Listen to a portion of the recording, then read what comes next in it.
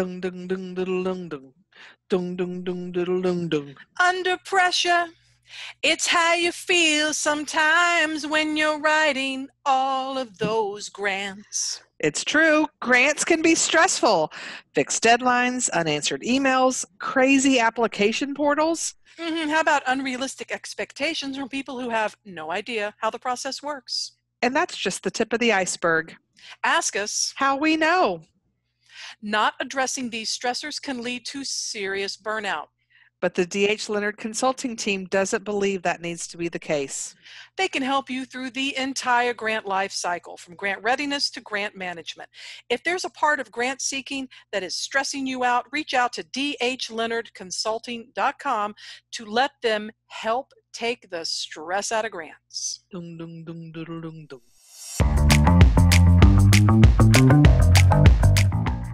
Well, hello there. I'm Kimberly Hays de Muga, And I'm Amanda Day, and you're listening to the Fundraising HayDay podcast. Woohoo! So, we're here to help you make sense of the complex world of grant writing and fundraising, including how to raise money, how to win grants, but also, and I think even more importantly, how to work together to change philanthropy for the better. That's right. And we're doing this every two weeks with the help of cheesy sound effects and songs because learning doesn't have to be boring. Although my backdrop is very boring today if you're watching on YouTube, it's the wrinkly green screen. Hi, um, this is how the magic is made. This podcast is brought to you by our season six sponsor, D.H. Leonard Consulting and Grant Writing Services. Their team can help make grants less stressful by assisting you with grant readiness and training, grant research, grant writing, mock review, as well as providing numerous DIY resources, guides, and templates. Don't let grants stress you out. Did you know that with every fundraising HayDay episode, we create a coordinating blog post on their website, dhleonardconsulting.com? Check it out today. Well, hello, dear listeners, and welcome back to another episode of the Fundraising HayDay podcast. If you can believe it, we are past the halfway mark of 2023 and season six of our beloved pod. Yeah, I will say this year, the season has been flying by. I've enjoyed so many incredible guests and the educational value we're bringing to our listening audience. And I'm also excited for the lineup through the rest of the year. So, in fact, today's topic is something that I think is super helpful, especially for those who are ready to dip their toe in the fun filled world of federal funding. I'm simulating dipping a toe, dipping a toe.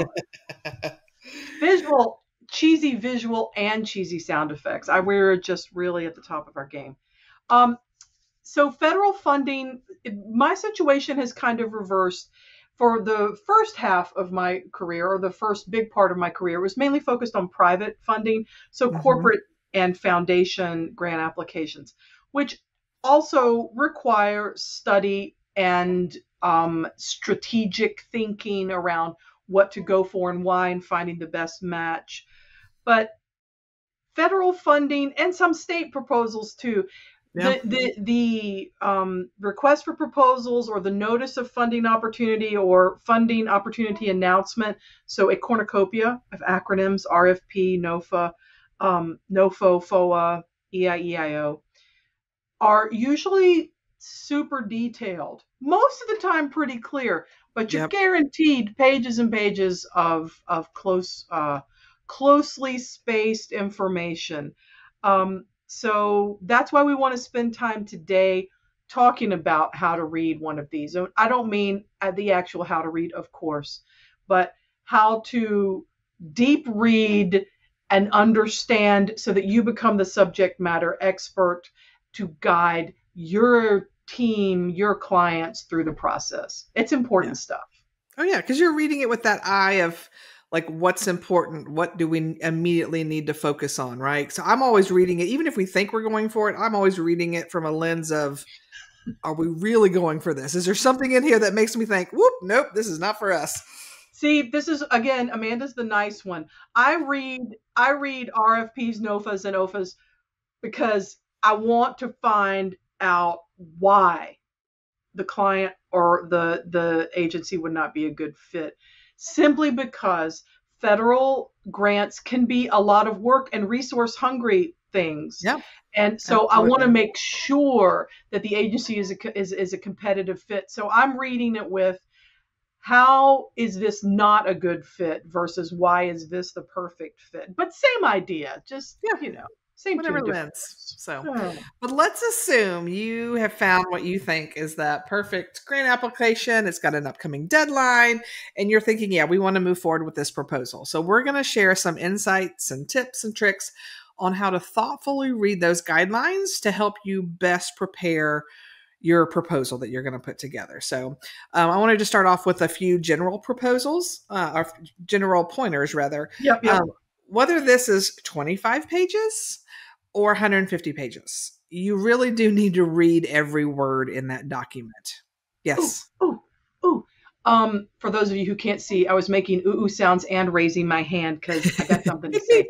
I would say I read each one more than once. yes. And I actually, and I'm sorry to the trees because I really do try and save paper. I'll just print double sided a lot of times and print it out and read it in addition to storing it because I'm like highlighting things and making notes. So don't Okay. think. Yeah. And Don't uh, for those that it's just one and podcasting, I can't- yeah, I know you can't see us, but for those of you who are watching us on YouTube, yeah, here sitting on my desk is one I'm currently working on, and I don't know how well you can see, but like, Um, it says National Community Care Corps, and you can see how yes, how lovingly you have highlighted yeah it. highlighted and i take notes because those are like it's easy and this one's not that long actually it is only 19 pages so for this is a federal grant. long. That was passed to a um, actually to a non-federal entity and then they're doing sub awards um so 19 pages not too bad but even then it's i like my highlights because then i can easily skim to find the most important things that i'm looking for um, and with notes and everything. So yeah so read it mark it up figure out what works best for you. So so but anyway but again you're reading every word even though it's boring. I'll just go and tell you right now federal rfps not thrilling reads. Kimberly and i love to read these are not fun. I don't read these for my enjoyment but you got to. Um, and the first lens i'm looking at through when i read it really is are we even eligible? Because you know sometimes you think you are but then you start reading the fine print and you're like yeah they say they give to nonprofits but when you look at all the requirements or when you look at some of the things that they ask about you're like yeah we don't really a school would do that but we don't as a nonprofit so eh, maybe that's not us. Um, i also want to know how many awards they're making right? Sometimes federal grants they make one award. One. And And so it's if probably that's not going to be to you. I'm probably yeah but you're right it's probably not unless you read it and you're like yep we do that This we do us. it exceptionally well. We do this exceptionally well. We excel at this. So yeah knowing how many they're going to award helps you decide and because sometimes it's only say it's 50 well that's probably one per state. Are you the best in your state at doing this you know and of And course that doesn't like- include territories. I'm just no, saying. that's true. Yeah, and you'd like to think you are, but eh. so that's something. And then I also make sure I'm paying attention to all the deadlines. And I say all the deadlines because obviously there's going to be a hey, this needs to be submitted by this date. But more and more often, I'm seeing on federal proposals these days that there'll be one deadline for grants.gov, but there's another deadline for whatever that funder's portal is, whether it's is. JustGrants for Department of Justice or what is it, eRA Commons for Yep. uh, Department of Education. NEA So- has their own portal as well. Yeah, so there could be multiple deadlines. Sometimes there's a required webinar. Sometimes there's a required survey. Some so that you have to meet by a certain date. So sometimes if you want to ask questions, you have to submit questions by a deadline, and after that they won't answer any questions. So just make sure you pay attention to all the deadlines. Can I Um, hop in with something else real quick? I'm sorry. absolutely, go ahead. I'm like being I'm being answer hog today, but go go. It just the the point that I wanted to make is to add on when you were talking about eligibility, and we've Yeah. talked about this in multiple podcasts, and we I will continue to talk about this, and Amanda will too, I'm sure. It's eligibility is one thing, but then how competitive you are, and I just Yeah. wanted to bring that up because you're talking about you know how many grants are going to be awarded, what is the deadline, what is this, are we in the scope, are we eligible to apply because we're a nonprofit or a municipality, but the scope of what the grant is actually looking for is above and beyond that. So Mhm. as the grant professional. You can be the thought leader, subject matter expert on that and help your agency or your clients determine that eligibility, which gets back to what I was saying. I'm reading this going, yeah, I, am thinking you got to convince me that this is a good fit. And generally, it's, I find that a lot of people get stuck on that eligibility.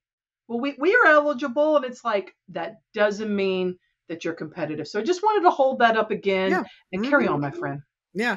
Well, in that same vein, that's something I'm when I'm reading, I'm always looking for something. Is there something in there, even though we're eligible, that makes us not competitive? Like maybe they give priority points to someone who does XYZ. Well, if it's like, well, we don't do that, but we're still eligible. Yeah, but if they're only giving out even 100 awards, that's still not a lot when you're talking about across the entire country, right? So, things to think about. Um, another thing too is um, are there different categories sometimes right. like the one i'm working on now um, you have to decide whether you're providing services to this type of population or this type of population so you'll fall within one of those categories which could change you know some of the questions that they may ask. And so if there's multiple categories just make sure that you do fit in one and put yourself in the right category. Like i've seen them based on size. Like i've seen a department of justice grant that based on the number of police officers you have determines which category you're eligible to apply for which may affect how much money you're allowed to ask for right?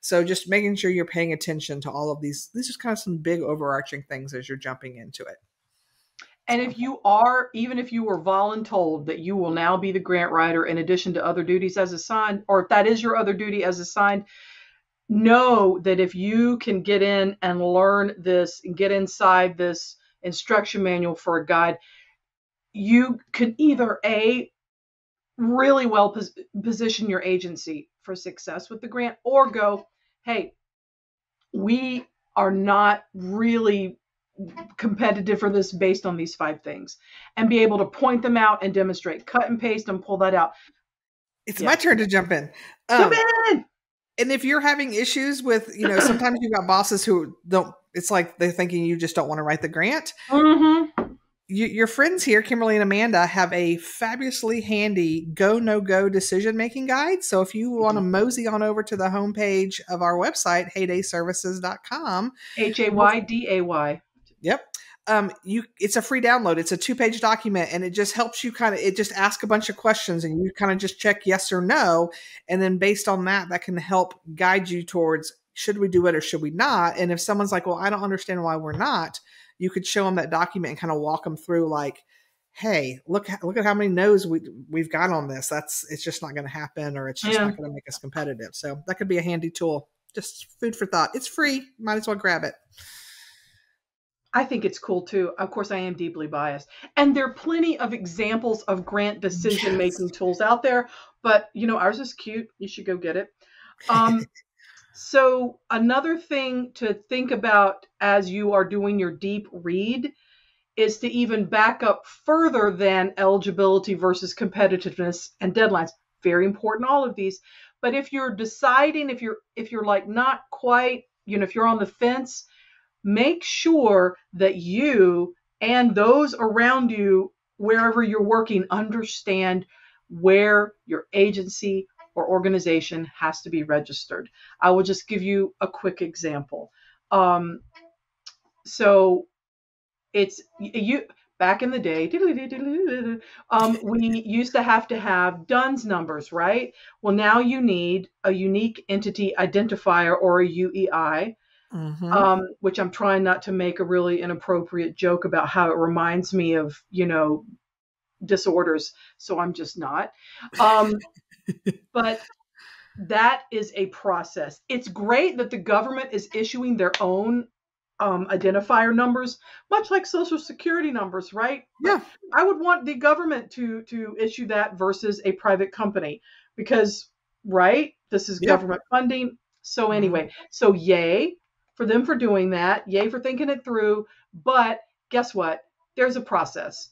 And so um, uh, the example I was referring to uh, for a recent federal grant, they um, it was it was um, it was an NEA grant. But what struck me as I was going through, I was going to pull it. Well, it's underneath a file there, but it, it was a it was a good 50 page read there. But they talked about the importance of having the UEI, um, unique entity identifier number assigned But wait, they're like, well, you need to make sure you're registered in login.gov, sam.gov, sam.gov, and grants.gov, and in that order. And if you're not, you need to stop what you're doing and hop on and get it registered because, and wait for it, they're, they do all tie together, you then needed to go into grants.gov and submit a short form mm-hmm. that must be approved before you could go into the NEA portal and submit the grant that was actually a shorter form proposal form um, under certain government rules and regs. But that, that that's like five different steps. And yeah. the portal would open for the grants.gov portal would open for that registration form. Simple, but you had to do it and had to do it in a certain way and couldn't cut and paste. And um, I think you had to meet at the crossroads um, at midnight. I don't even know. It was there was a lot of stuff yeah. going on. And then you had five days to submit the grant through the portal. So there was lots of coordination that needed to occur, and um, that that is not alone. Um, JustGrants for DOJ grants, Department of Justice, eRA Commons, and there's probably more that are not coming to top of mind now. But just make sure that not only are those that you have those, but that the passwords are current, and you need to decide who's going to be the workplace manager and who's going to be the AOR, the authorized something something. Um, the authorized operational organizational representative. representative. I, I, we're going for that, and if we're wrong, just email us at hello at HayDay Services and go, y'all knuckleheads. It's actually this, and we'll be like, thanks. But um, you see why I hate acronyms.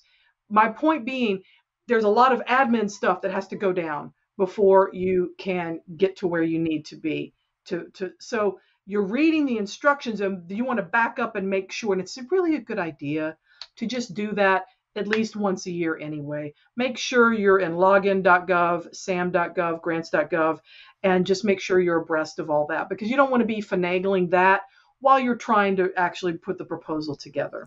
No, because if you've never done all that, let me tell you, I just helped a client with it. It took us over a month to yeah. get their UEI and SAM.gov registration. Not because the client was lazy, but like we submitted everything. It took weeks before SAM.gov got back to us and was like, there's an issue here. You need to fix this. And so then we had to reload things. And then we, finally, what we ended up doing was calling there. They've got a 1 800 number. We called and I told her, I was like, do not hang up the phone until the issue is resolved. You know, and the guy kept trying to put her off. He was like, well, there's companies you can pay that'll help you. Yes, there are, you but why have to pay a company to register for federal grant funding? No, it is a free process. Breaking in and screeching. Sorry. Yeah. Oh no, I was mad. She's texting me. I'm going, nope, do not do that. Stay on the phone with him. If he can't help you, ask for his manager.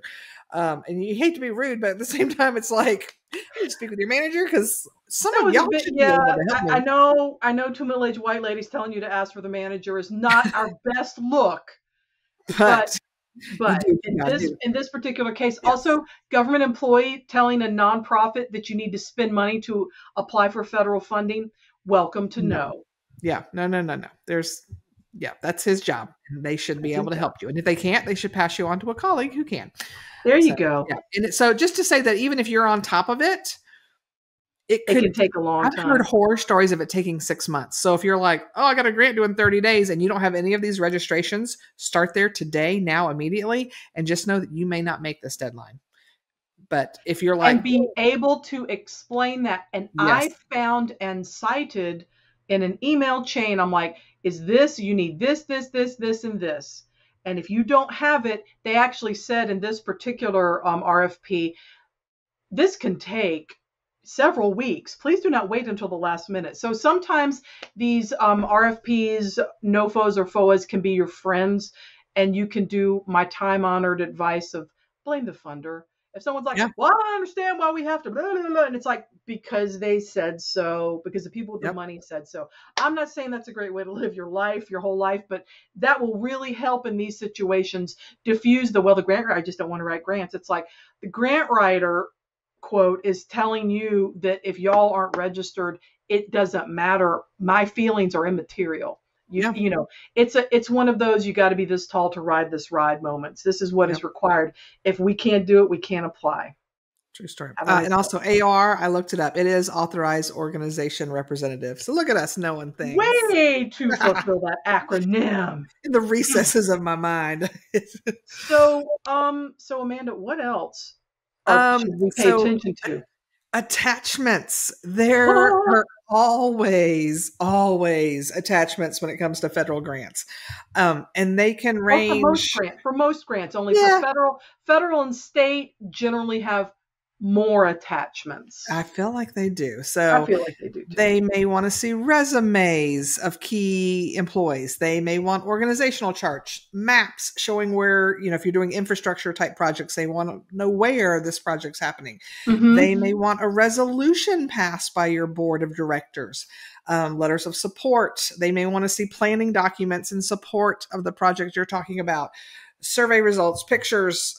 I mean, I, I'm working on the one I showed y'all the RFP at the beginning. They want the current year's budget. They want last year's budget. Mhm. They want your most recent audit. They there's a financial form you have to fill out to show that you have your act together and actually could handle managing federal grants. So um, oftentimes in federal grants too, there's a um, lobbying form you have to fill out. Yep. Don't let that freak you out. Like lobbying is okay. You just can't use federal funds to lobby, but otherwise, it's not. It's not like oh, we paid a lobbyist. This is bad. No, they just want to know who it is to make sure you're not using federal funds to pay them, right? So, just figure out. That's one of the first things I look at because I'm trying to figure out: Do I already have all of these things? If not, how quickly can I find it? Or is it something I'm going to have to create new? Like if I need a map. So, you know, you're you're gonna have to figure out, well, who's going to do that for you? Is it you? Do you have the ability to do it? Do you have, you know, maybe you have a GIS department or maybe someone in engineering, depending on where you work. Who knows? So I'm always trying to figure out who has the things I need, who can create the things I need, because I want to get to them early Oh to yeah. give time to fit what I need for them within their very busy schedule, right? So uh, make sure if you need support letters and other things, you get on and you you may need letters of commitment versus letters of support Yes. right letters of commitment are i do this you do that you do that i do this love the management and they're a little Yeah. more complicated than that but that's the gist or um, official memorandums of agreement or memorandums of understanding because if you are partnering that's how you can show evidence of said partnership so that's another Absolutely. attachment you may have to think Yep. about Um, another thing is, you know, sometimes they're very persnickety about the the type of file, especially with grants.gov. You know, they may only take a PDF or a Word document or Excel. So you've got like if you're including pictures, you can't just upload a JPEG. Maybe you may have to. Put that into some other type of a document. Um, another thing is sometimes file size. It has to be under a certain, like it may be you know one megabyte or smaller. And if your file's too big, that's something I was like, I don't know how to shrink file sizes. So I had to go find someone who could show me how to do that. Right. So, and these are the things that are going to, as you're uploading them at the last hour, right? Because it's time to submit and you're uploading them and then they, they're getting rejected because it's the wrong file size or type. Those are the kind of things that are going to give you a heart attack. So, um, and I will tell you too, if you're working remotely, um, I had an issue before where um, I had a great client who had every single document I needed and then some. We were doing this huge trail project, and they had a lot of drawings of the trail, like Mhm. things like that. And it wasn't even the hard part was from them. They couldn't just email it to me, right? Because the file size was so big, but they weren't allowed to use Dropbox or Google, right? So we, but they did use SharePoint.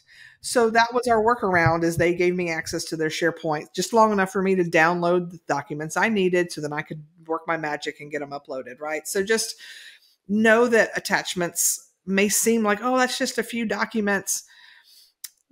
Maybe, but it could also be the thing that causes you the most pain. So pay attention to that. and those are things that you can work on in advance. I think a lot of people Yes. want to just get to writing. I want to get to writing. It's like before you get to writing, sir, madam, mm-hmm. person, um, look at some things that are maybe outside your control and in Yeah. terms of sign offs and con- contracts or whatever, and get those out the door first, Yep. right? Mm-hmm. Um, Mhm. that I did when I first started writing grants. I was like, budget? No, I am a writer. No, no, I'm a grant pro with this stuff. And it's if you understand the if you get the budget and you get everyone on your grants team, um, your finance and your program people and your ED, whoever it is, and I recommend that it's not just you trying to figure yeah. things out. Um, if you get them to stack hands on it, a, an easier way to do that is with the budget than writing out this whole program description and having everyone edit it. I mean, that's yeah. like getting pecked to death by ducks. It's just, but people are like, well, should you use this word? I'm like, should you review the program and make sure that we're saying what it's, we'll, we'll fix it later. But so taking it to a budget, um, mm-hmm. um, budget plus maybe some goals and objectives work will really just like getting those attachments out there get that out there and that's all part of the instructions that will come in your RFP, NOFO, or and all these other things that we had talked about, which is really just your instruction guide for the yeah. grant for your federal grant. Um, some of the quick, sort of quick and dirty to walk you through this comes in the budget discussions, and also often it can come in the first um, one to five pages where they're yeah. giving the overview. Um, you know, you're already going there to go, are we really competitive even though we might be eligible? How many grants? This and that. What's the size? Are there technical training? All that is usually within the first handful of pages, including things like minimum and maximum grant award amounts. You mm-hmm. want to get that out of the way. If you're if you are only looking for the, well this is my this is my opinion based on my experience if you're only looking for 30 grand to complete a project and the minimum to for this particular federal award is 100,000 just let's move on and also y'all there are easier ways to raise 30 grand than a giant federal grant, grant. Yes.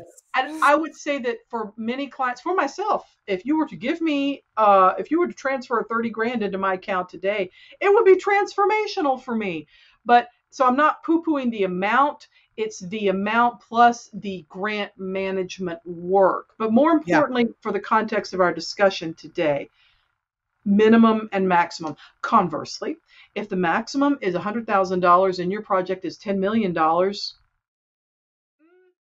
might want to think about that. Does that meet your need?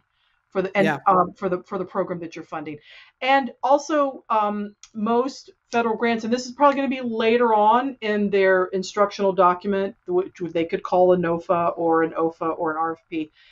What will they not fund, and how can you find the the funding for that? I'll just a quick example.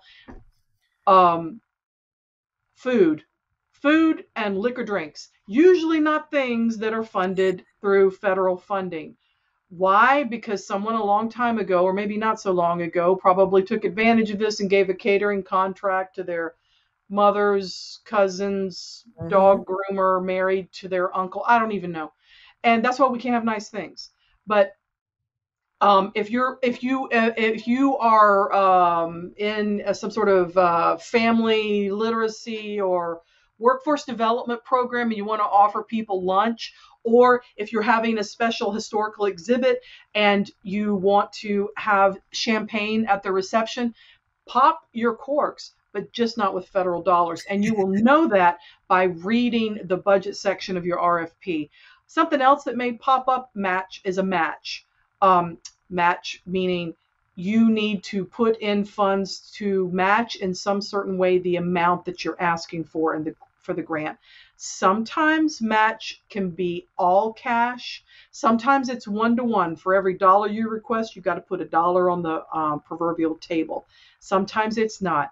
And that is why you're the subject matter expert on this grant because you're going to know and understand and be able to explain that to people because this can get everyone into a lot of trouble sometimes you don't have to have match dollars all in place. I say that because I used to say you always have to have it. And by golly, two weeks ago, I was reading a grant. I'm like, dang, they said that all the match is not required. It was a multi year grant.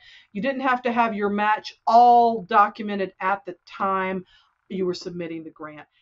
I will continue to say that's super rare, but it does exist.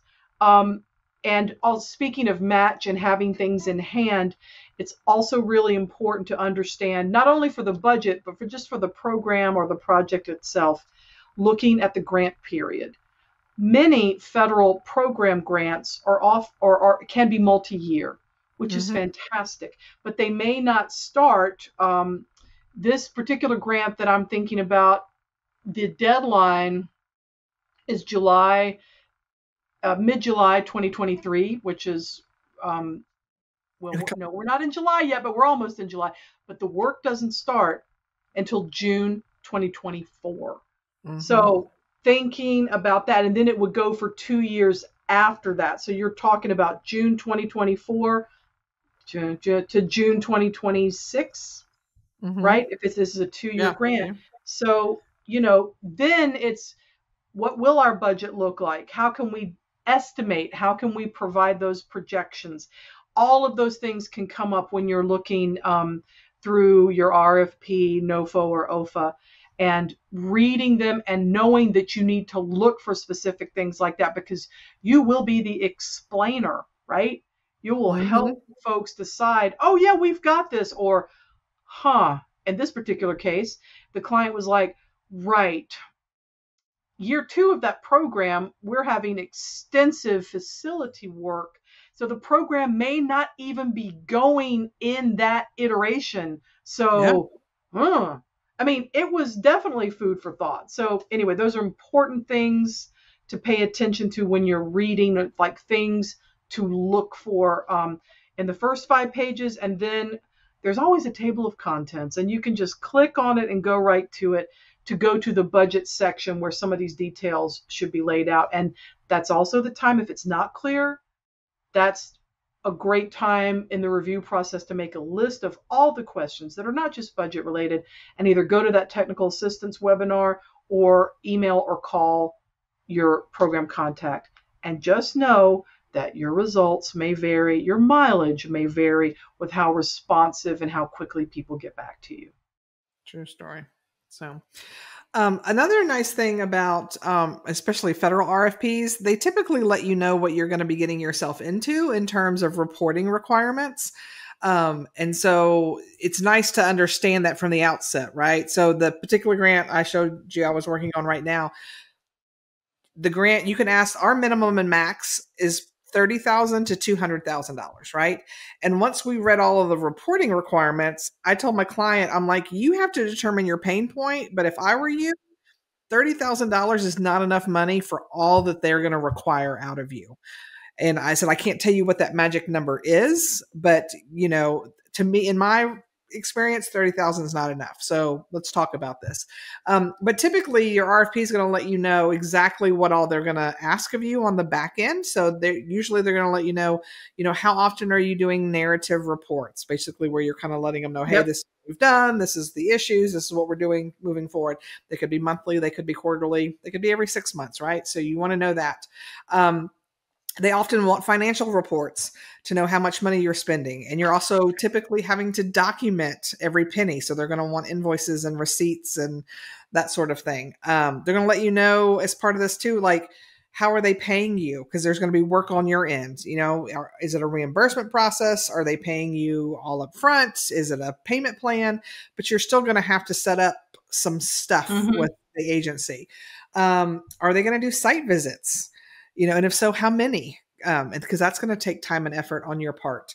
Um, are there any other reporting requirements right? If um, when it comes to federal grants if you get money directly from the feds and then you decide to subaward anything you have to report in the FFATA system which is the federal funding accountability and transparency act.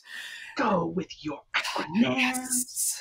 and it's the uh, I think the website is fsrs.gov is is the um yeah because it's the FFATA subrecipient reporting system. So fsrs.gov is the website where you go and do that. So that may be an additional layer. So just again read all of it. And if you do get the grant they spell everything out in detail again in your grant award so don't feel like you have to have all that memorized and know this but it still is a good idea to understand how much work on the back end because again if it's a small amount you may decide mm, the amount of time i'm going to spend doing all this reporting is not worth the thirty thousand dollars they're giving me. Yeah, right? if you're going to spend fifteen thousand dollars a year managing a thirty thousand dollar grant, you may want to think mm-hmm. about that, or it may be the right thing for you to do, but give it thought. Yeah. Well, we um the first time I experienced money not being worth what it was, we had applied for a, a trail grant. We had applied for a million dollars. They came back and I think they gave us two hundred fifty thousand dollars instead. So instead of building it was a little trail. Yeah, we built a fourth of what we were going to build. So they allowed us to narrow our scope, right? So that was fine. But of course, to us, we're like $250,000. That's a lot of money. But the reality when it comes to federal construction projects, with all the other things, we had to follow the Davis Bacon Act. Yep. We had to, there was just, there was environmental things we had to do that was extra that cost more money. It's just, it cost more money and it took longer and it was a lot of my time and a lot of some other people's time managing it that that was the point where we decided if it was a federal construction project, we wanted at least half a million dollars to make it worth our while. Now that was back in 2003. So I don't know, uh, you know. And again, that's not a magic answer. I know some people that won't take federal construction projects unless it's a million dollars. Some won't touch it unless it's two. So it's there's not a one size fits all. It's it's all about pain point and time and cost. But um, you do need to think about that or if you were a historic um, site you know yeah. a 50 $50000 federal grant may put the roof on that will allow you to keep going so you know it's yeah, it's not we're, we're, never suggesting oh it must be this number we're saying think no. about it and in the context of the kind of work that you're doing and yeah. what makes sense and are there other ways to pay for it? Because because you're right there may be that may be your only funding source for that particular project. Well then heck yeah we'd do it for that amount because it wouldn't happen otherwise. So it's just there's a lot to think about. And there are a couple of other just i know we could this this i mean there are people who give entire multi-day workshops about this and we're just on each using, on the I mentioned Davis Bacon. I went to a 40 hour training just on yeah. Davis Bacon. By no means am I an expert, but I know enough to be dangerous after that training, right? And doing it. But yeah, you could easily dive into any of these topics forever. So, do you want to hop over to um, just a, a quick overview of the different kinds of sections Sure, we can do that. Federal, just in the interest of because I, you know, there and there are other things that might come up in addition to Davis Bacon, particularly on construction projects or other things. Buy American preference for veterans. If you're working with the bi uh, the bipartisan infrastructure law, then there's that Justice 40 lens where you really need to make sure you can document that 40 there's a 40% is is benefiting communities that were traditionally marginalized or underserved mm-hmm. as classified by the the federal agency. Um, so all of those things you'll find the details in the OFA or the details in the or the NOAA. You know what I mean, NOFO. Um, you'll find details in there and also in the in the technical um, assistance webinars, which again not exciting viewing, but yes, maybe if it helps you yeah. get a transformative grant, then maybe that's where you find your excitement. So true story. Yeah, things to consider. Um, yep.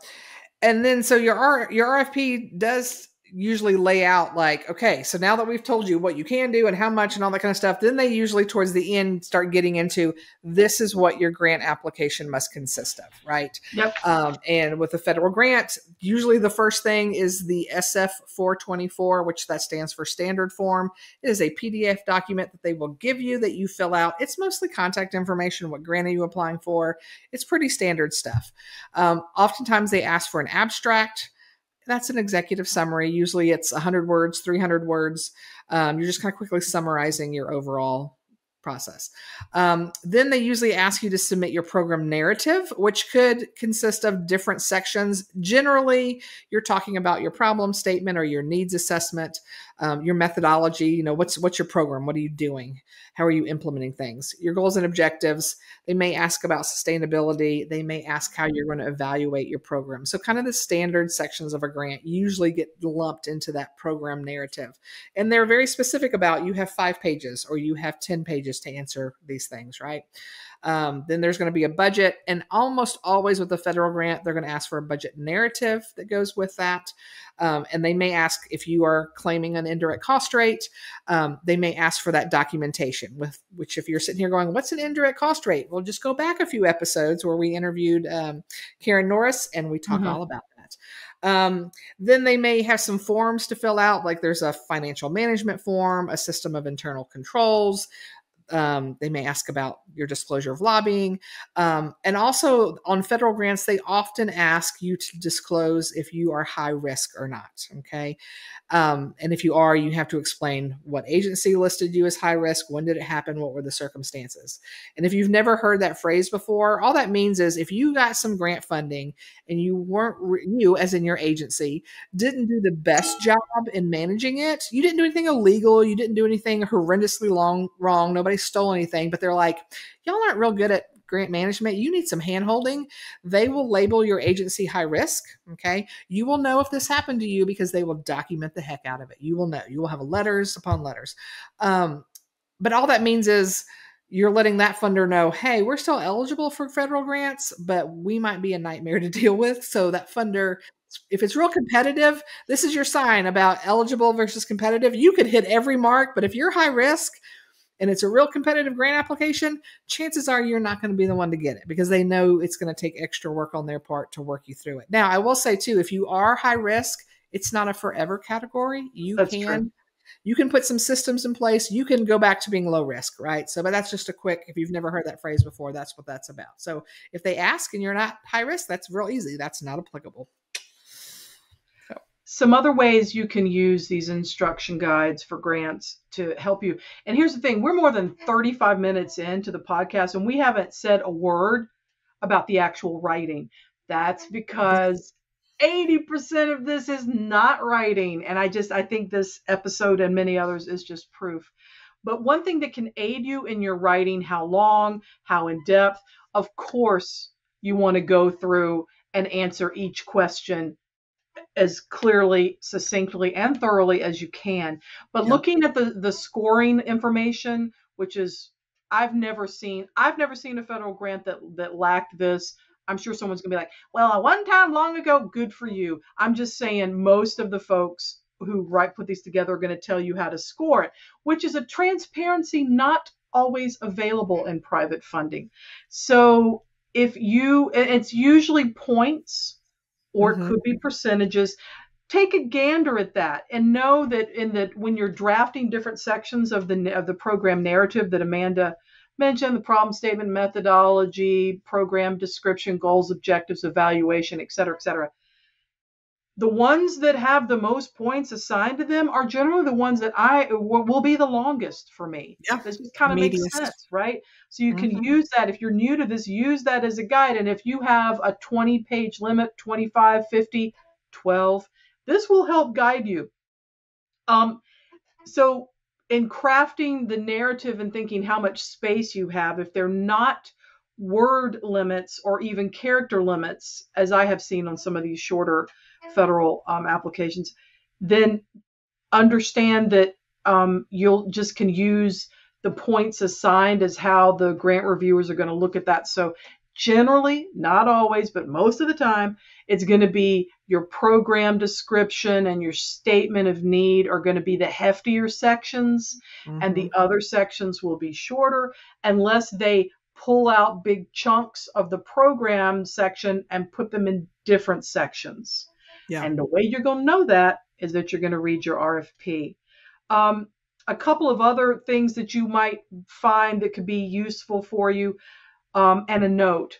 Sometimes there are attachments that you have to, to, to send in that have no points assigned to them, but you have to do it. So, again, just read and understand your list of attachments versus how the narrative and other elements are going to be scored. So just know that these can be two different things.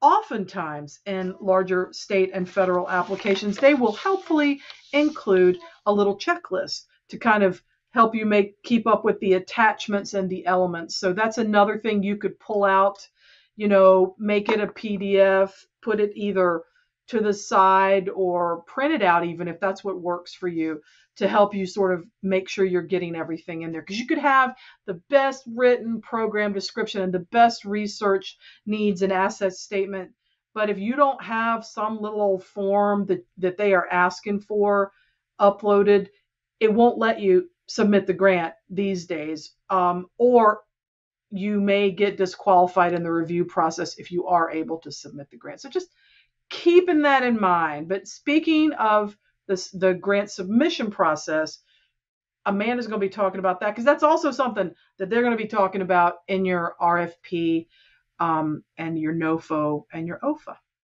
Yep. They usually give pretty detailed instructions on where you go to submit, whether it's grants.gov or another website or a combination thereof.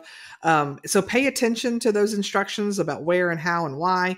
Um, more often than not, they will tell you, please submit 72 hours ahead of the deadline. They're not playing. They're not because that's Don't play. you'll as you go, you'll realize you'll go to hit submit and you'll get an error message because there's a file that's too big or a file that's not the right tagging or Kimberly has a fun story. I don't know if I would call it fun. Um, I, I would, and I was, I was not. Um, but a colleague of mine was was um, helping their client through, and this was an HHS grant um, that I had assisted on, but I was not doing the heavy lifting of the of the uh, portal process. But they got everything, and we were hammering it. It's like, got to get done. We've got to get this done. This has got to be uploaded. We do not want to wait um, because I've heard of people getting shut out of the process. Like you do all that work and you can't submit it. You wait until the last day. Mm-hmm. Here's the kickback that was so strange to me because we were just like, oh, okay, everything. We've checked off everything. Where you know, if you have perfectionist tendencies, it can work for you and against you in this in this instance. Yes. Um, yes. So, but we were like, okay, okay. All the attachments are in. Everything's in. Everything's uh, at or under where it needs to be. Everything's been approved. Everything's uploaded we go through grants.gov, then we go through eRA Commons, which is another portal.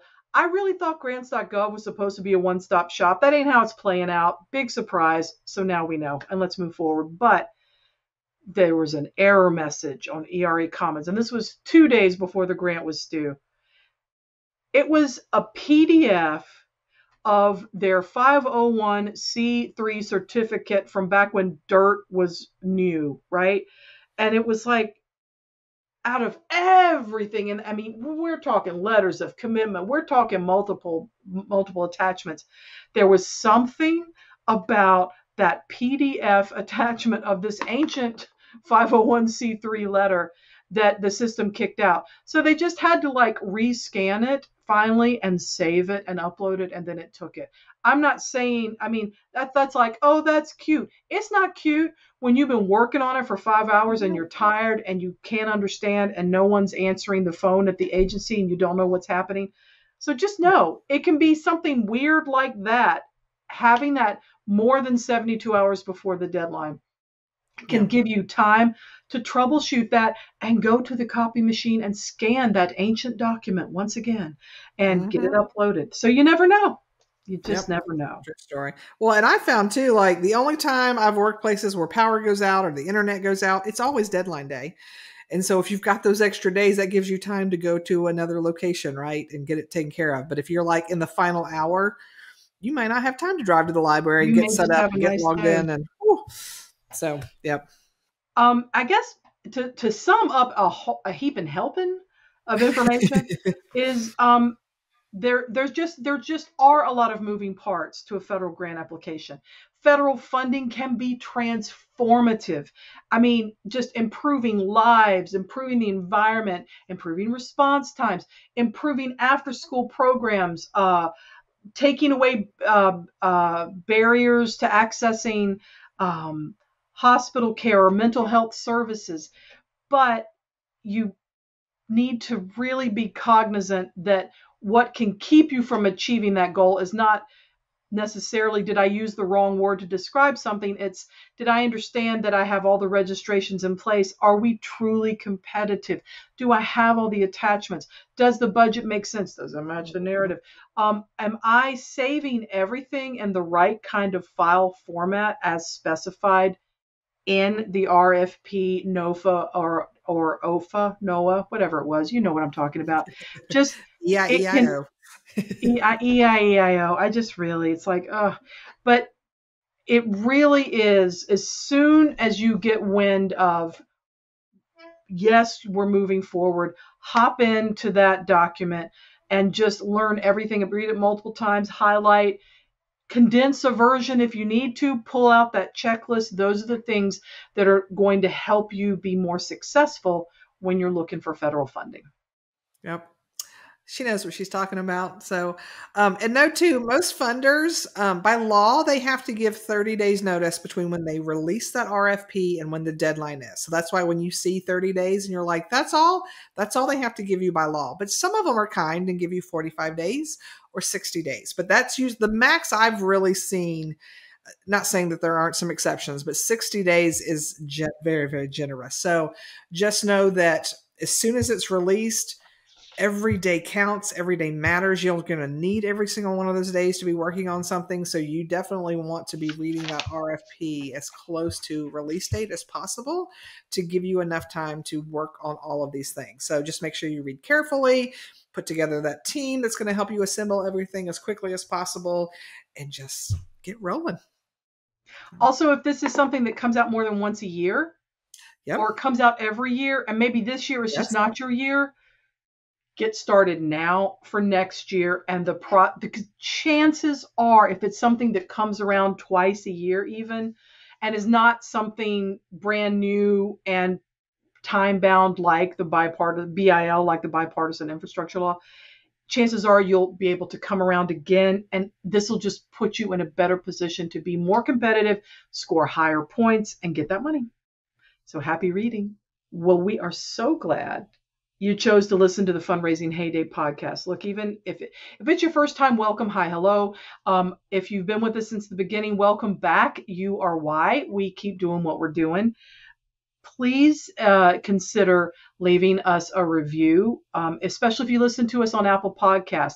It's real easy. You can go to our homepage on Apple Podcast, scroll down, um, and there's a place to leave a review. I think it's by stars. If you write a couple of sentences, you could do it in um, less than five minutes.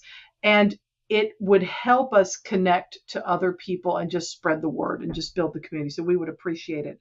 Um, if you just can't get enough of that HayDay stuff, trot on over to haydayservices.com, which is our um, website where you can sign up for the HayDay Hot Takes, where we have that no go, go, no go guide that you, that you, we talked about earlier. It's H A Y D A Y services.com. Um, and you can find out just what's going on and um, catch up with other episodes of the podcast if you want to go back in time. So, yeah, check us out. Thank you again to our season six sponsor, DH Leonard Consulting and Grant Writing Services. We appreciate their support in making grants less stressful. Visit their website, dhleonardconsulting.com, to download their latest resources today. Yeah. We are so, so honored that you chose to spend time with us today. Um, please join us next time. We are going to be talking about um, grants in the Human Services Network. We've got a nonprofit we're going to highlight that is doing some amazing work. So we're excited to share that with you all. I'll talk to you then. See ya.